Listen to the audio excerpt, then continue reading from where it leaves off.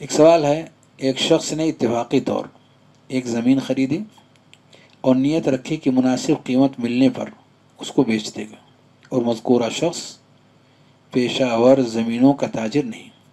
इसी तरह ज़मीन से किसी किस्म की कोई आमदनी नहीं।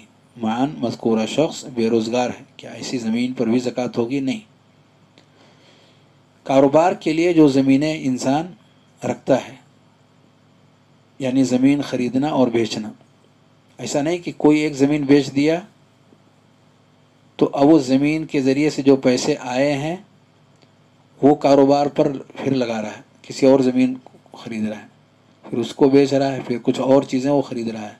इसको कारोबार कहते हैं, ख़रीदना और बेचना। लेकिन अगर किसी ने अपने माल पूंजी को किसी ज़मीन में लगाया हुआ है, और इस इरादे में है कि अगर कीमत अच्छी मिलती है तो उसे हम बेच देंगे और उसके ज़रिए से अपना घर बना लेंगे या फला जो ज़रूरी काम है उस काम को अंजाम दे लेंगे या इस तरह की बहुत सारी चीज़ें इंसान के जहन में होती हैं। करना चाहता है, इसको कारोबार नहीं कहते, तिजारत नहीं कहते। ये उसकी ज़ाती अपनी प्रॉपर्टी है, ज़ाती मनफात के लिए है, कारोबार के लिए उस ज़मीन को उसने नहीं रखा हुआ है। तो उसके ऊपर ज़क़़त नहीं होगी।